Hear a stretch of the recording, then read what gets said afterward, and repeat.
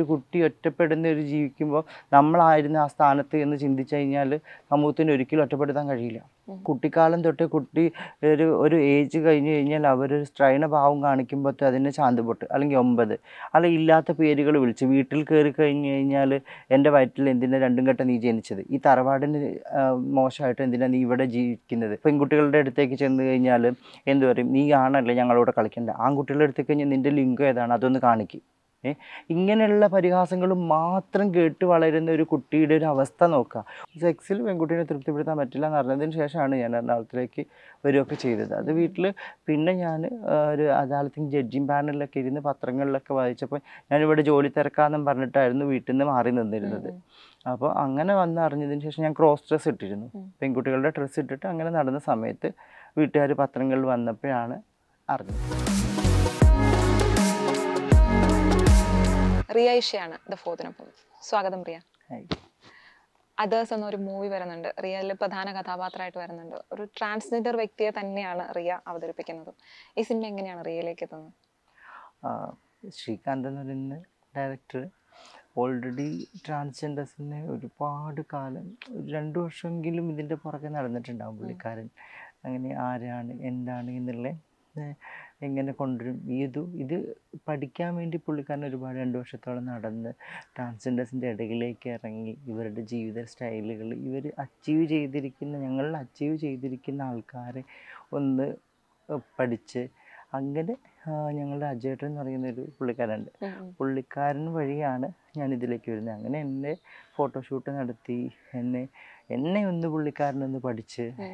എന്റെ ലൈഫും ഒരുപാട് നേരം ഇരുന്ന് സംസാരിച്ച് ഫോണിൽ കൂടെ ആണെങ്കിലും നേരിട്ടാണെങ്കിലും എങ്ങനെയൊക്കെയാണ് റിയതിലേക്ക് വന്നത് അങ്ങനെ ഒരു നല്ലൊരു ഒരു ബുദ്ധിമുട്ടുണ്ട് പുള്ളിക്കാരൻ ഈ ഒരു എന്നി- എന്നിലേക്ക് എത്താനും എന്നിലേക്ക് എത്താൻ പെട്ടെന്ന് അജേട്ടൻ വഴി എത്തി.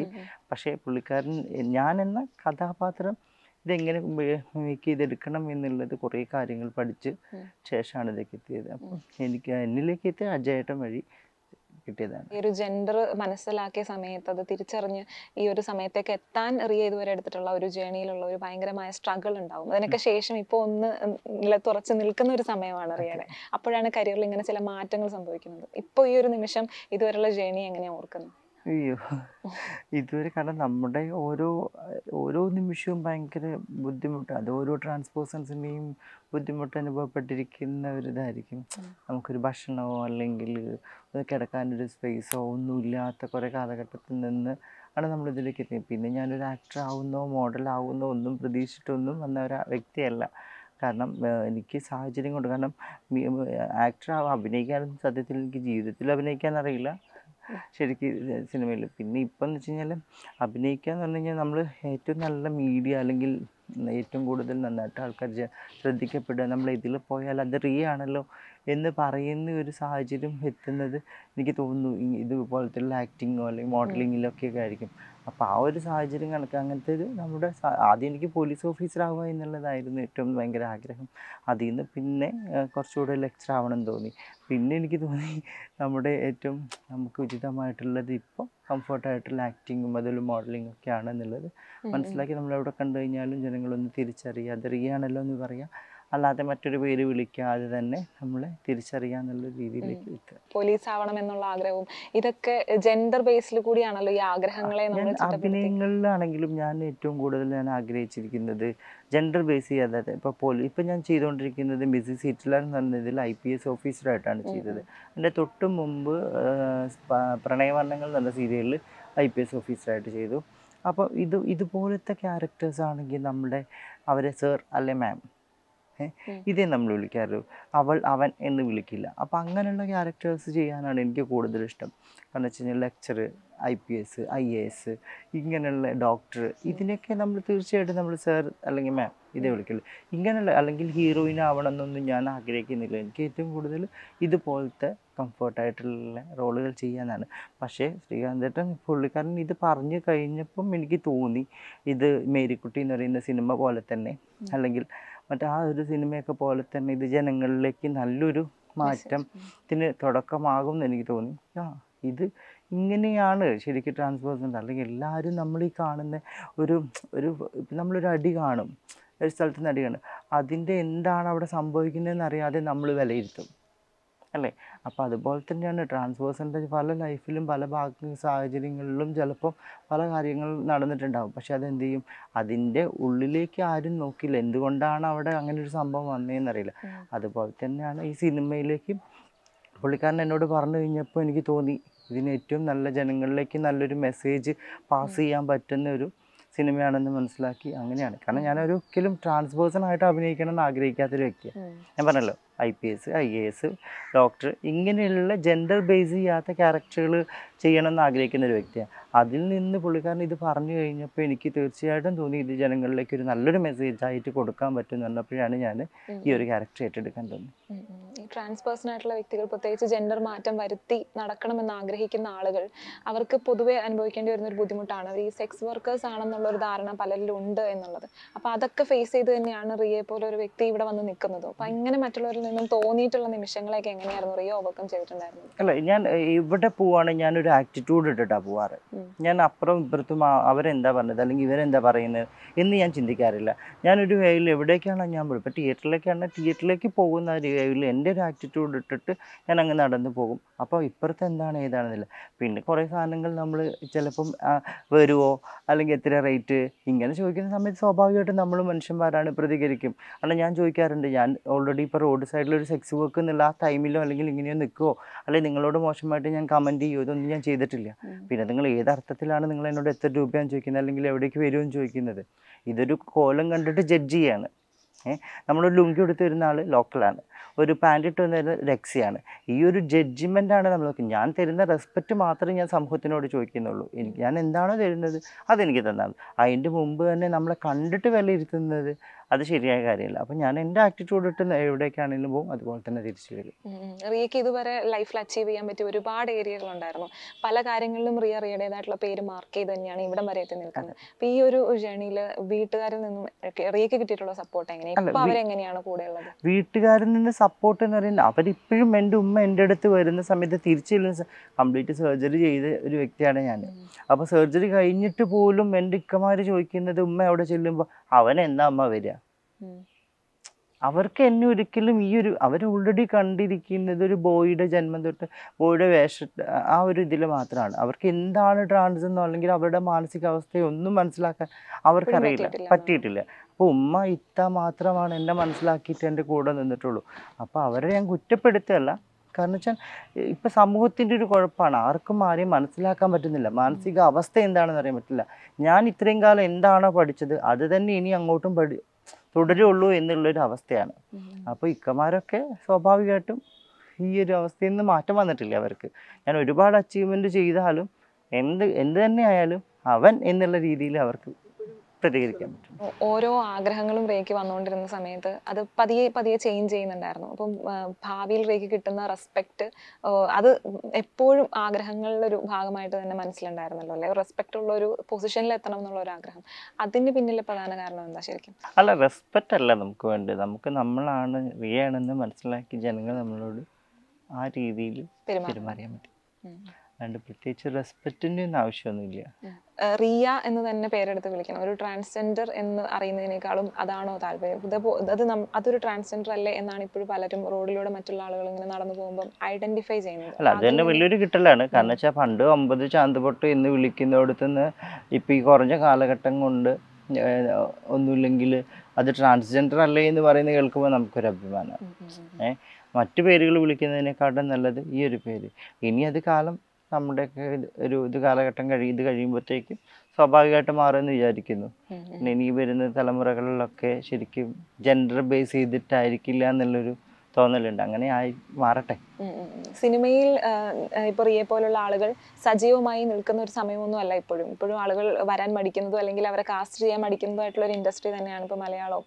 അപ്പം ഇങ്ങനെ ഒരു ഇൻഡസ്ട്രിയിൽ റിയയ്ക്ക് ഇപ്പൊ ഇതൊരു പുതിയ പുതുമ സംവിധാന പുതിയ സംവിധായകന്റെ സിനിമയാണ്. അപ്പോൾ ഇതൊരു പുതിയ സെറ്റാണ് ഈ ലൊക്കേഷനിൽ റിയയുടെ ഒരു എക്സ്പീരിയൻസ് എന്തായിരുന്നു? സെറ്റ് മൊത്തം നമ്മളോട് സപ്പോർട്ടായിരുന്നു അങ്ങനെ ഒരു ട്രാൻസ് പേഴ്സൺ ആണ് ഇവിടെ അഭിനയിക്കുന്നതെന്ന് വെച്ചിട്ടൊരു മോശ പ്രതികരണം അങ്ങനത്തെ പ്രവൃത്തിയോ അങ്ങനത്തെ ഒന്നും ഇതുവരെ ഉണ്ടായിട്ട് അങ്ങനത്തെ ഒരു അനുഭവം ഉണ്ടായിരുന്നില്ല. പിന്നെ എനിക്ക് സെറ്റിൽ ഉണ്ടായിരുന്ന വെച്ച് കഴിഞ്ഞാൽ കൊറോണ ആയിരുന്നു ഒരുപാട് എന്താണ് നമ്മുടെ മൂന്നാർ ആ ഭാഗങ്ങളിലായിരുന്നു ഷൂട്ട് ഉണ്ടായിരുന്നത്. സർജറി ഒക്കെ കഴിഞ്ഞിട്ട് അധികം ഒരു വർഷം ഒന്നര വർഷം ഇങ്ങനെ ആയിട്ടുണ്ടായിരുന്നുള്ളൂ. അപ്പോൾ ആ സമയത്ത് എനിക്ക് നല്ല ബുദ്ധിമുട്ടുണ്ടായിരുന്നു. കാരണം രാത്രി കാലങ്ങളിലായിരുന്നു നമുക്ക് രാത്രി കാലങ്ങളിലൊക്കെ ഫ്രീ ആയിട്ട് കിടക്കുന്ന അങ്ങനത്തെ ഇതാക്കി നമ്മളെ യൂറിൻ പാസ് ചെയ്യാനൊക്കെ വേണ്ടിയിട്ട് നമുക്ക് ഒരുപാട് ദൂരം അവർ കാറിൽ കൊണ്ടുപോയി പിന്നെ അവിടെ നിന്ന് യൂറിൻ പാസ് ചെയ്തതിന് ശേഷം കൊണ്ടുവരിക അങ്ങനെയൊക്കെ ആയിരുന്നു. അപ്പോൾ ഡയറക്റ്റ് ഓരോ കാര്യങ്ങൾ ഓരോ ഓരോ ഡയലോഗ് പോലും പുള്ളിക്കാരൻ നമ്മളോട് അത് അങ്ങനെയല്ല. ഇനി ശരിക്കും ഈ ട്രാൻസ്പേഴ്സൺസിന്റെ ഡയലോഗ് പോലും എനിക്കാണ് കൂടുതൽ അറിയേണ്ടത്. പക്ഷേ എന്നെക്കാട്ടും പുള്ളിക്കാരന് കാരണം എനിക്ക് എന്റെ കാര്യങ്ങളെ അറിയുള്ളൂ. പുള്ളിക്കാരന് ഓരോ ട്രാൻസ്പേഴ്സൺസിന്റെയും അവരുടെ നിരീക്ഷിച്ചിട്ടുണ്ടായിരുന്നു. ഇങ്ങനെയാണ് അവരിങ്ങനെയാണ് അല്ലെങ്കിൽ ഇങ്ങനെയല്ല. അപ്പോൾ അവർ അത് പുള്ളിക്കാരൻ പഠിച്ചിട്ടാണ് ഇതിൽ ഓരോ ഡയലോഗുകൾ പോലും പുറത്തേക്ക് അത് നെഗറ്റീവ് വരരുത് എന്നുള്ള രീതിയിൽ അത്രയും നല്ല നല്ല നല്ല ഡയലോഗുകൾ പോലും ഇതിലാക്കുന്നത് അപ്പോൾ പുള്ളിക്കാരന്റെ ഒരു പ്രവർത്തനം തന്നെയാണ് ഈ സിനിമ. ഞാൻ എന്നോട് പല പ്രാവശ്യം പറഞ്ഞിട്ട് എഡിറ്റിംഗ് സമയത്ത് അറിയുന്നു വന്ന് കണ്ടു നോക്ക്. എനിക്ക് തോന്നി അതൊന്നും കാണാതെ ഇരുന്നത് നന്നായി. ഐ എഫ് എഫ് ടിയിലും തൃശ്ശൂർ വെച്ച് അത് കണ്ടു കഴിഞ്ഞപ്പോൾ. ഇതിന് ഞാൻ ആ പുള്ളിക്കാരനെ കണ്ടാണ്. ഇപ്പം ഇത് നിങ്ങളുടെ എഫേർട്ടിന്റെ ഫലമാണ് കേട്ടോ ഈ ഓരോ ആൾക്കാരുടെ കമന്റ് കേൾക്കുന്നത് ഞാൻ തന്നെ ഇത് കഴിഞ്ഞോ? ഛേ കുറച്ചുകൂടി ആവായിരുന്നു. സിനിമയിൽ കുറച്ചുകൂടെ വേണമായിരുന്നു. അപ്പം ഞാൻ ഇത് പുള്ളിക്കാരനോട് പറയുമ്പോൾ പുള്ളി- പുള്ളിക്കാരൻ പറയുന്നത് ഇതാണ് കറക്റ്റ് ഇത്ര മതി. ഇതിലൂടെ തന്നെ എല്ലാം ഉൾക്കൊണ്ടു അത് ജനങ്ങൾക്ക് വേണ്ട രീതിയിൽ. ഒരു സത്യമാണ്.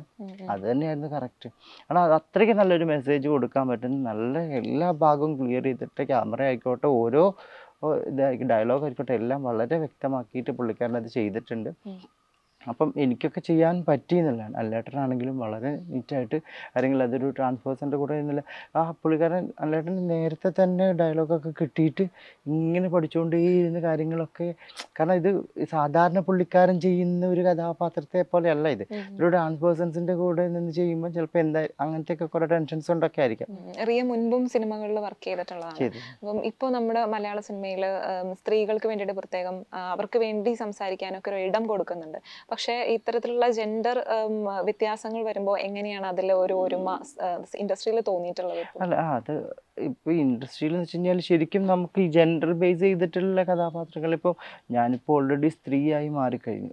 ഏഹ് ഇപ്പം എന്നെ കണ്ടു കഴിഞ്ഞാൽ സ്ത്രീ എന്നുള്ള രൂപം അല്ലെങ്കിൽ ക്യാമറയുടെ മുമ്പിൽ ഒരു കവച്ചയ്ക്ക് ആ സ്ത്രീ ഉണ്ടെങ്കിൽ ആ രൂപത്തിൽ തന്നെ അവർക്ക് കൊടുക്കാവുന്നതാണ് കഥാപാത്രം. അങ്ങനെ കൊടുത്ത് അല്ലെങ്കിൽ ഈ സിനിമ ഇൻഡസ്ട്രീനെ പോലെയുള്ള പോലുള്ളിടത്താണ് നമുക്ക് ജോബ് ചെയ്യുന്ന ഏറ്റവും കൂടുതൽ കംഫർട്ടായിട്ടുള്ളൊരു സോൺ കാരണം വെച്ചാൽ മറ്റൊരു ജ്വല്ലേഴ്സിലാണെങ്കിലും അല്ലെങ്കിൽ ജ്വല്ലറിയിലാണെങ്കിലും ഹോട്ടലിലൊക്കെ ആണെങ്കിലും മറ്റ് കസ്റ്റമേഴ്സൊക്കെ വരുന്ന സമയത്ത് പല രീതിയിലും നമ്മൾ ഇതാക്കും. അതേസമയത്ത് അതേ സമയത്ത് ഇത് കലാകാരന്മാരുടെ ഒരു ഏകരി ആയതുകൊണ്ട് അവർക്ക് ആൾക്കാരെ മനസ്സിലാക്കാൻ പറ്റുന്ന ഒരു ഇതായിരിക്കും. അപ്പോൾ അവിടങ്ങളിൽ തന്നെ നമുക്ക് നല്ല നല്ല വേഷങ്ങൾ കിട്ടുകയാണെങ്കിൽ സ്വാഭാവികമായിട്ട് നമുക്ക് എന്ത് ചെയ്യാം? ജനങ്ങളിലേക്ക് നമ്മളെയും കൂടെ ഉൾക്കൊള്ളുന്ന രീതിയിൽ ആയി മാറും. നിങ്ങളുടെ ഒരു ഇമേജ് ചേഞ്ചും കൂടി സിനിമയിലൂടെ സാധ്യമാകും. അപ്പം ഏത് ഡയറക്ടേഴ്സ് ഈ ഇന്റർവ്യൂ കാണുന്നുണ്ടെങ്കിൽ ഏതൊരു ട്രാൻസിനാണ് അവർക്ക് ഒരു ലേഡിയുടെ ഒരു ഇതുണ്ട് എങ്കിൽ അവർക്ക് ആ കഥാപാത്രത്തെ കൊടുക്കാൻ അവർ മുന്നോട്ട് ധൈര്യം കാണിച്ചു വരട്ടെ എന്നുള്ളൊരു പ്രാർത്ഥന. ഇപ്പം മേരിക്കുട്ടി പോലെ ഒരു സിനിമയെ ചേർത്ത് വെച്ചിട്ടാണ് ഈ സിനിമയുടെ കഥാപാത്രത്തെ പറഞ്ഞിട്ടുണ്ടായിരുന്നത് റിയ. അപ്പം അത്തരം ഒരു സിനിമയിൽ ജയസൂര്യാണ് കാസ്റ്റ് ചെയ്യപ്പെട്ടിട്ടുണ്ടായിരുന്നത്. എന്തുകൊണ്ടായിരിക്കും അങ്ങനെ ഉള്ള റോളിലേക്ക് മറ്റൊരു ഇപ്പം റിയ പോലെ ഒരു വ്യക്തി അങ്ങനെ ഒരു വ്യക്തിയെ തിരഞ്ഞെടുക്കായിരുന്നു ഇപ്പം സ്റ്റാർ വാല്യൂ മാത്രം സ്റ്റാർ വാല്യൂന്റെ പ്രതീക്ഷിച്ചിട്ടായിരിക്കും. ആയിരിക്കും ചിലപ്പം കൂടുതലും അത് പിന്നെ ഞാൻ പറഞ്ഞല്ലോ എന്നെ സംബന്ധിച്ച് ഒരു ഇപ്പം അടുത്തൊരു ട്രാൻസ്പേഴ്സൺ ആദ്യമൊക്കെ എനിക്ക് അങ്ങനെ ധാരണ ഉണ്ടായിരുന്നു ട്രാൻസ് എന്നുള്ള രീതിയിൽ തന്നെ ചിത്രങ്ങളിൽ വന്നു കഴിഞ്ഞാൽ അത് തന്നെയാണ് പിന്നെ ഫുള്ള് വരിക എന്നുള്ളത്. പക്ഷെ ഇപ്പം എനിക്കതില്ല ഞാൻ ഒരു അഭിനേതാവ് എന്നുള്ള രീതിയിൽ എനിക്കിപ്പോൾ ഏതൊരു വേഷം കിട്ടിയാലും ഞാനത് ചെയ്യാം. എന്നിട്ട് എന്റെ ഫേസിനോട് യോജിച്ചൊരു അല്ല അവർക്ക് താല്പര്യമുള്ള അങ്ങനെയാണ് എങ്കിൽ അത് കിട്ടും എന്നുള്ളത് വിശ്വസിക്കുന്നുണ്ട് ഇപ്പം ഞാൻ. അപ്പോൾ ഈ മേരിക്കുട്ടി എന്നുള്ള സാധനം ദിലീപ് അല്ല ആയിരുന്നു അത്. അത് അവർ ചിലപ്പോൾ സ്റ്റാർ വാല്യൂ വെച്ച് നോക്കിയിട്ടായിരിക്കും ശരിക്കും കൊടുക്കേണ്ടത് ഒരു ട്രാൻസ്പേഴ്സൺ തന്നെ കൊടുത്ത് ചിലപ്പോൾ അത് കൊടുത്തു കഴിഞ്ഞാൽ ചിലപ്പം ഇത് ഇത്ര വിജയം വന്നോളണമെന്നില്ല ഈ ഒരു പടം അതുകൊണ്ടായിരിക്കും അങ്ങനെ ചെയ്തത്. ഇപ്പൊ ഇതിലും ഇതിലും അതേമാതിരി തന്നെയായിരുന്നു.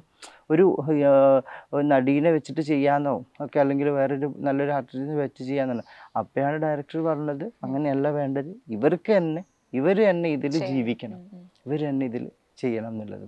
ശ്രീകാന്ത് പറഞ്ഞിരുന്നത് പറഞ്ഞിരുന്നു. ഇപ്പം ഒരു ലൊക്കേഷനിൽ എത്തുമ്പം എങ്ങനെ ഇങ്ങനെ റിയെ പോലുള്ള വ്യക്തികൾ എങ്ങനെയാ ബിഹേവ് ചെയ്യുക എന്ന് പറയുമ്പോൾ എങ്ങനെയാ റെസ്പോണ്ട് ചെയ്യാന്ന് കാരണം ഒരുപാട് സ്ട്രഗിളിൽ നിന്ന് വന്നിട്ടുള്ളവരായതുകൊണ്ട് ചുറ്റുപാടിനെ വിശ്വസിക്കാൻ നിങ്ങൾക്ക് കുറച്ച് ബുദ്ധിമുട്ടായിരിക്കും. ആളുകളെ വിശ്വസിക്കാൻ കുറച്ച് ബുദ്ധിമുട്ടായിരിക്കും. അപ്പൊ എങ്ങനെ എന്തിനെ എങ്ങനെ റെസ്പോണ്ട് ചെയ്യും എന്നുള്ളൊരു ഭയം ഉണ്ടായിരുന്നു. പക്ഷെ റിയ ഭയങ്കര പോസിറ്റീവായിട്ട് തന്നെ എല്ലാത്തിനോടും റെസ്പോണ്ട് ചെയ്തു എന്നുള്ളത്.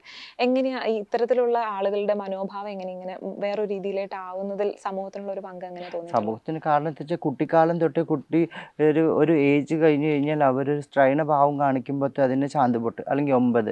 അല്ല ഇല്ലാത്ത പേരുകൾ വിളിച്ച്. വീട്ടിൽ കയറി കഴിഞ്ഞ് കഴിഞ്ഞാൽ എന്റെ വയറ്റിൽ എന്തിനാ രണ്ടും കെട്ട നീ ജനിച്ചത്? ഈ തറവാടിന് മോശമായിട്ട് എന്തിനാ നീ ഇവിടെ ജീവിക്കുന്നത്? അച്ഛന്റെ അമ്മയുടെ. അങ്ങനെ വീട്ടിൽ നിന്നും നാട്ടുകാരിൽ നിന്നും പെൺകുട്ടികളുടെ അടുത്തേക്ക് ചെന്ന് കഴിഞ്ഞാൽ എന്ത് പറയും? നീ ആണല്ലേ ഞങ്ങളോട് കളിക്കേണ്ട. ആൺകുട്ടികളുടെ അടുത്തേക്ക് കഴിഞ്ഞാൽ നിന്റെ ലിംഗം ഏതാണ്? അതൊന്ന് കാണിക്കും. ഏ? ഇങ്ങനെയുള്ള പരിഹാസങ്ങൾ മാത്രം കേട്ട് വളരുന്ന ഒരു കുട്ടിയുടെ ഒരു അവസ്ഥ നോക്കുക. ഒരിക്കലും ഒരു ആൺകുട്ടി പെൺകുട്ടി ആവില്ല ഒരു പെൺകുട്ടി ആൺകുട്ടി ആവില്ല. സത്യസന്ധമായിട്ടില്ല. പക്ഷെ അവരുടെ മാനസികാവസ്ഥ കറക്റ്റ് ആയിരുന്നില്ല അല്ലെങ്കിൽ മാത്രമാണ് അവരിങ്ങനെ ഒരു അവസ്ഥയിലേക്ക്. അപ്പോൾ ഈ പരിഹാസങ്ങൾ മാത്രം വളരുന്ന ഒരു ആൾക്കാർക്ക് ഇപ്പം നിങ്ങളിപ്പോൾ എന്നോടൊന്ന് ചിരിക്കുന്ന സമയത്ത് ഇത് പണ്ട് കണ്ട പരിഹാസത്തിന്റെ ആണോ? അതോ ഇപ്പോൾ ഇന്റർവ്യൂവിന് വന്നിരിക്കുന്നതിന്റെ ചിരിയാണോ എന്നുള്ളത് എനിക്ക് മനസ്സിലാക്കാൻ പറ്റില്ല. അങ്ങനെ അത് സമൂഹത്തിന്റെ പേരിൽ തന്നെ. ഇപ്പോൾ തായ്ലൻഡിലൊക്കെ ആണെങ്കിൽ ജെൻഡർ ബേസ് ചെയ്യാതെ തന്നെ കുട്ടികൾ ഡോക്ടേഴ്സ് ആവുന്നു എൻജിനീയേഴ്സ് ആവുന്നു എല്ലാം അവരവരുടേതായിട്ടുള്ള രീതിയിൽ അവർ വളരുന്നുണ്ട്. എന്തുകൊണ്ടാണ് ജെൻഡർ ബേസ് അല്ല. അവിടെ ഓരോ ആൾക്കാരും വളരുന്നതും ഇതാക്കുന്നതും ട്രാൻസ് ആണോ അല്ലെങ്കിൽ മെൻ ആണോ ഫീമെയിൽ ആണോ എന്ന് നോക്കിയിട്ടല്ല. ഇവിടെയാണ് നമ്മൾക്ക് ഇങ്ങനെ സമൂഹം ശാന്തപെട്ടെന്നും മുമ്പതെന്നും പറഞ്ഞ് കളിയാക്കിക്കൊണ്ട് ആ കുട്ടീനെ ഒറ്റപ്പെടുത്തി. അതൊക്കെ ചിന്തിച്ചാൽ മതി. ഒരു കുട്ടി ഒറ്റപ്പെടുന്ന ഒരു ജീവിക്കുമ്പോൾ നമ്മളായിരുന്ന ആ സ്ഥാനത്ത് എന്ന് ചിന്തിച്ചു കഴിഞ്ഞാൽ സമൂഹത്തിന് ഒരിക്കലും ഒറ്റപ്പെടുത്താൻ കഴിയില്ല. കാരണം വീട്ടുകാരെയും നാട്ടുകാരെയും ഒക്കെ ഇതാക്കിക്കൊണ്ട് ഇപ്പം നമ്മൾ എങ്ങനെയാണ് ഇങ്ങനെ ജീവിക്കാൻ പറ്റുക? അഭിനയിക്കാൻ പറ്റും. ക്യാമറയുടെ മുമ്പിൽ ഒന്നോ രണ്ടോ മണിക്കൂറുകൾ നമുക്ക് അഭിനയിക്കാൻ പറ്റും. ജീവിതകാലം മൊത്തം ഒരിക്കലും നമുക്കൊരു അഭിനയിക്കാൻ പറ്റില്ല. ഞാനൊക്കെ അഭിനയിച്ച് നടന്നിരുന്നു. ആണാവണം എന്നുള്ളത് എന്നോട് ഇത്തൊക്കെ പറയും. നീ ഒന്ന് മസിൽ പിടിച്ച് നടന്നേ. അപ്പം കുറച്ച് ഇന്നൊക്കെ ചെയ്തിട്ട് മസിൽ പിടിച്ചിട്ട് നടക്കും. അത് കഴിഞ്ഞ് കുറച്ച് കഴിയുമ്പോൾ പിന്നെ അതേമാതിരി തന്നെയാവും. പിന്നെ നമ്മൾ അങ്ങനെ തന്നെ നടക്കുകയുള്ളൂ ഈ ഒരു അവസ്ഥയാണ് നമ്മളത്. ഒരു ദയനീയമായിട്ടുള്ള അവസ്ഥയാണ്. ഇതാണ് ജനങ്ങൾ മനസ്സിലാക്കേണ്ടത്. ഇതിനെ ഒരുപാട് പേര് എതിർക്കുന്നുണ്ടെങ്കിൽ എന്തുകൊണ്ടായിരിക്കും ഇവർ ആദ്യം ആ എതിർക്കുന്നവരെയാണ് എനിക്ക് പറയാനുള്ളത്. കാരണം വെച്ചാൽ നിങ്ങൾക്കാണ് മനുഷ്യന്റെ മാനസികാവസ്ഥ മനസ്സിലാക്കാൻ പറ്റാത്തത്. ഒരു രൂപം കണ്ട് മാത്രം ഒരാണാണെന്നും അല്ലെങ്കിൽ അത് പെണ്ണാണെന്നും പറയുന്ന ആ ഒരു മാനസികാവസ്ഥ മനസ്സിലാക്കാൻ പറ്റാത്ത ആൾക്കാരെയാണ് ശരിക്ക് ചോദ്യം ചെയ്യപ്പെടേണ്ടത്. നിങ്ങൾ ഏത് കാലത്ത് ഘട്ടത്താണ്? അല്ലെങ്കിൽ നിങ്ങൾ എന്താണ് ഈ ഉദ്ദേശിക്കുന്നത്? എന്നുള്ളത് അവരോടാണ് ചോദിക്കേണ്ടത്. നമ്മളൊരു കാര്യം ഭയങ്കരമായി ആഗ്രഹിച്ച സമൂഹം നമ്മുടെ ചുറ്റുപാട് നമ്മുടെ ഒപ്പം നിൽക്കും പ്രകൃതി നമ്മുടെ ഒപ്പം നിൽക്കും എന്നൊക്കെ പറയുന്ന ആ ഒരു ഫിലോസഫിയിൽ ശരിക്കും റിയെ പോലുള്ള ഒരാളുടെ വിജയത്തെ നമുക്ക് എഴുതാൻ പറ്റുമോ? റിയയുടെ വിജയത്തിൽ സമൂഹം അല്ല ഞാൻ എപ്പോഴും നന്മയിൽ വിശ്വസിക്കുന്നു. പ്രകൃതി അങ്ങനത്തെ ഒരു ഇതല്ല. നമ്മൾ ഒരു എന്നിലൊരു നന്മയുണ്ടെങ്കിൽ ആ നന്മയിൽ വന്നു ചേരും എന്ന് മാത്രം വിശ്വസിക്കുന്ന ഒരു വ്യക്തിയാണ് ഞാൻ. അത് എനിക്ക് ഉറപ്പാണ് ഞാൻ ചെയ്തിരിക്കുന്നത്. കാരണം ഞാനിപ്പം മരിച്ചു കഴിഞ്ഞാൽ ഇവിടെ വീണ് കഴിഞ്ഞാൽ നിങ്ങൾ കുറച്ചു നേരം ചിലപ്പം ഒന്ന് കരയായിരിക്കും. അയ്യോ പാവം റിയ നല്ല ക്യാരക്ടർ നന്നായിരുന്നു എന്നൊക്കെ പറഞ്ഞ കരയായിരിക്കും പക്ഷേ ജീവിതകാലം മൊത്തം എന്റെ എനിക്ക് വേണ്ടിയിട്ട് കണ്ണീര് വയ്ക്കാൻ വേണ്ടിയിട്ട് ഒരു പെൺകുട്ടിയുടെ ജീവിതം ഞാൻ തകർത്തിട്ടില്ല. നാട്ടുകാരും സമൂഹവും പറയുന്നത് കേട്ടിട്ട് ഞാൻ ഞാൻ കല്യാണം കഴിച്ചിരുന്നെങ്കിൽ കല്യാണം കഴിച്ചിരുന്നെങ്കിൽ ആ കുട്ടിക്കറിയും ആ കുട്ടീനോട് ഞാൻ എങ്ങനെയാണ് പ്രതികരിച്ചിട്ടുള്ളത് എന്നുള്ളത്.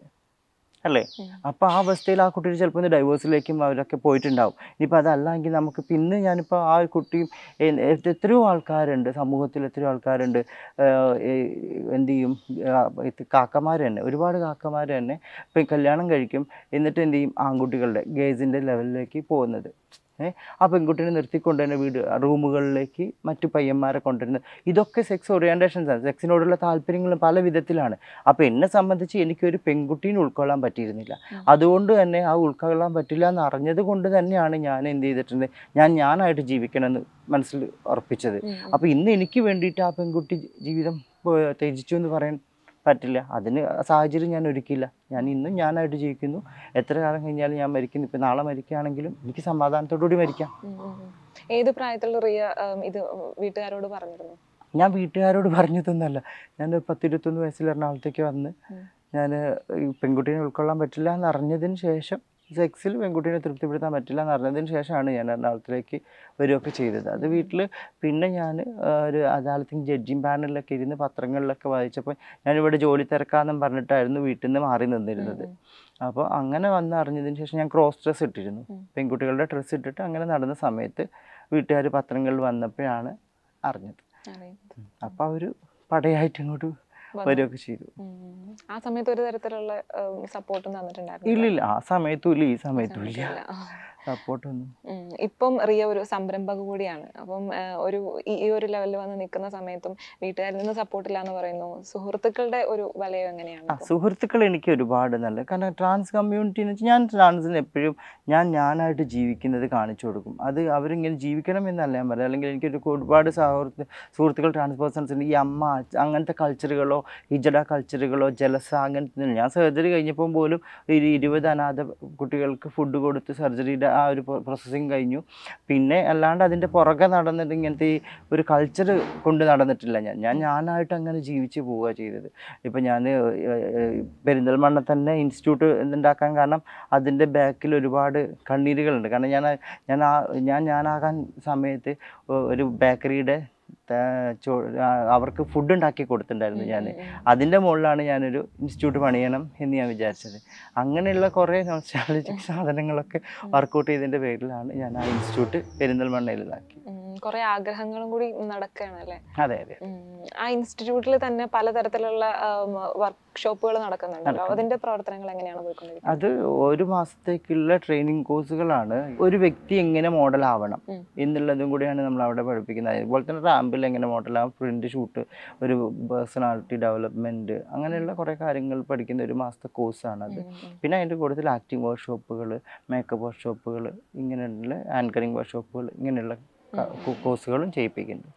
അറിയ പറഞ്ഞല്ലോ ഈ ട്രാൻസ്ജെൻഡർ കമ്മ്യൂണിറ്റിയിൽ ഇപ്പോൾ കൊണ്ടു നടക്കുന്ന ഒരു ആ ഒരു പാറ്റേണിനെ ഞാൻ ഫോളോ ചെയ്യുന്നില്ല ഞാൻ വേറൊരു രീതിയിലാണ് പോകുന്നത്. എന്തുകൊണ്ടാണ് അത്ര ഒരു പാറ്റേണിലായിട്ട് കടക്കാതിരുന്നത്? അല്ല എനിക്ക് ഞാൻ മതത്തിൽ വലിയ വിശ്വസിക്കുന്ന ഒരാളൊന്നുമല്ല അല്ല പക്ഷെ എനിക്ക് എന്റെ ഉമ്മയും ഉപ്പയും അത് മുസ്ലിമായി ജനിച്ചത് കൊണ്ട് അവർക്ക് ഇത്രയും കാലം ഞാനൊരു വേദനയായിരിക്കും എന്തായാലും ഇങ്ങനെ ഒരാളായി തന്നെ. അപ്പോൾ എനിക്ക് മതവും മാറി അങ്ങനത്തെ ഒരു രീതിയിലൊക്കെയാണ് ജീവിക്കുന്നത് എന്നുള്ളത് അറിയാൻ വേണ്ട. പിന്നെ എനിക്കെന്ന് വെച്ച് കഴിഞ്ഞാൽ കുറേയൊക്കെ എന്താ പറയുക ഇന്നിപ്പോൾ ഒരു ട്രാൻസിനെ നമ്മളെ കമ്മ്യൂണിറ്റി തന്നെ കുറ്റപ്പെടുത്തല്ല ഞാൻ പറയുന്നത് ഇന്നിപ്പോൾ ഞാനൊരു ട്രാൻസ് ആയിട്ട് നടന്ന് നാളെ ഞാൻ പൂജ ചെയ്യുന്ന ആളായി മാറുകയാണ്. അപ്പം അധികം കാണുന്ന സമയത്ത് എനിക്ക് അതിനോട് യോജിക്കാൻ പറ്റില്ല ഞാൻ ഇതിനെ കുറ്റപ്പെടുത്തില്ല അത് അവരുടെ ആചാരം അവരുടേതായിട്ടുള്ള രീതികൾ അത് അവരവരായിട്ട് പോയി പോയിക്കോട്ടെ. പക്ഷെ എനിക്കതിൽ ഉൾക്കൊള്ളാൻ പറ്റിയിട്ടില്ല. ഉം.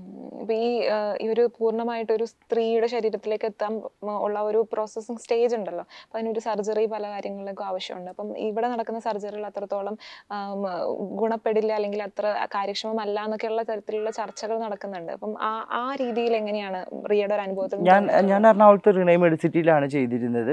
എനിക്കിതുവരെ അങ്ങനത്തെ ഒരു ബുദ്ധിമുട്ടും തോന്നിയിട്ടില്ല.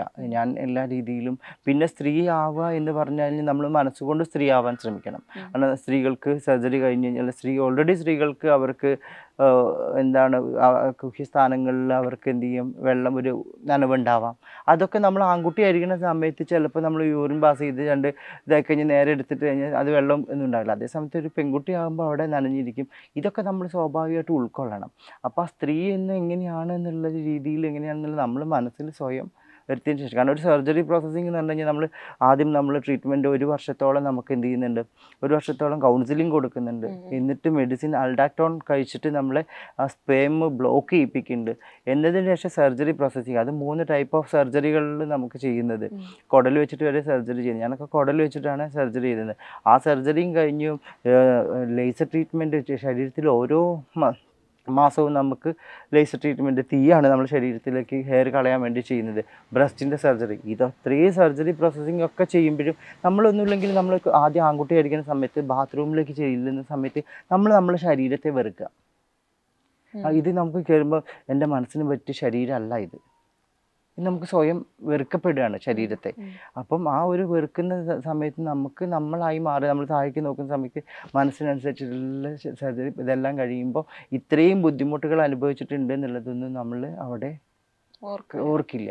കാരണം അത് കാണുമ്പോഴാണ് നമ്മുടെ മനസ്സിന് ഒരു ദിവസം ഒരു ദിവസം ആ സ്ത്രീ എന്നുള്ള സന്തോഷത്തോടുകൂടെ ജീവിക്കാം എന്നുള്ള വിചാരിക്കുന്നു ഒരുപാട് സന്തോഷം അറിയാം താങ്ക് യു സോ മച്ച്